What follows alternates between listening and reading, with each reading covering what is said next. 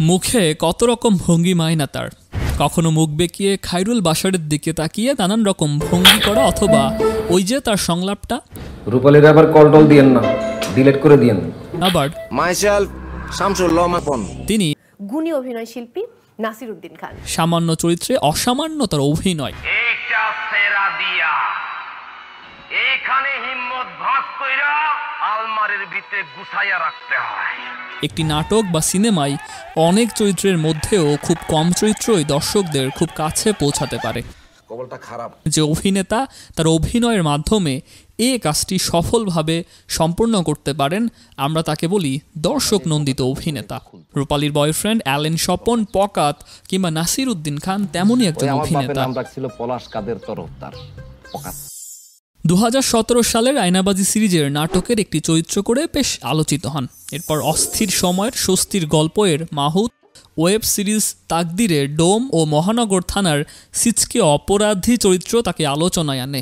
পাশাপাশি তিনি চলচ্চিত্রে অভিনয় করেছেন। তাকে নরডরাই হাওয়া দামাল রিক্সাগাল ছবিতেও দেখা গেছে। আমার কাছে কাঠ মিস্ত্রি আছে। কাঠের আওয়াজ হয়তো বলে ঠিক করে দিবে। অনে তো বোঝ গো বেটা। নাসির উদ্দিন খানের সিরিয়াস অভিনয়েও দর্শক হাসে। এটা আমি বুঝতে পারি সিনেমা হলে হাওয়া দেখতে গিয়ে পর্দায় তার মৃত্যুর হাত থেকে বাঁচার আকুতি, অথচ লোকজন হাসে। একই চিত্র রায়হান রাফির ফ্রাইডে দেখতে গিয়েও। এখানেও সেই চিত্র, তাকে তার স্ত্রী বেঁধে রেখেছে, মেরে ফেলবে। চলো। চলো। চলো না কেন? মৃত্যু ভয়ে কাতর, অথচ কিছু লোকজন হাসে। এজন্য অন্যান্য দর্শকদের মিশ্র প্রতিক্রিয়ারও সৃষ্টি হয়। বোধহয় কমেডি অভিনেতাদের ভাগ্যই এমনই। গত দু তিন বছরে যেসব অভিনেতা আলোচনা এসেছেন, তাদের মধ্যে নাসির উদ্দিন খান একজন। আগে থেকেই অভিনয় করছেন, মাহুতের পর নডরায়ে কিছুটা পরিচিতি পেয়েছিলেন। তবে আশফাক নিপুণের মহানগর সিরিজে তার দুর্দান্ত কমিক অভিনয় পুরো দেশে পরিচিতি পাইয়ে দেয়।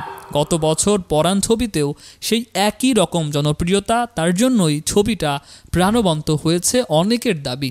সঙ্গে যোগ করা যায় শিহাব শাহিনের সিন্ডিকেট। লোকজন তো এখন তাকে অ্যালেন স্বপন বলেই ডাকে। এতটাই জনপ্রিয় হয়েছে যে শুধু এই চরিত্রকে কেন্দ্র করে আর একটি সিরিজ হতে যাচ্ছে।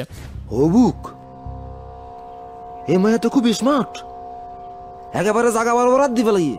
টু দ্য পয়েন্ট তবে সিরিয়াস খল চরিত্রেও কম নন যেমন শঙ্খ দাশগুপ্তের বলি সিরিজ।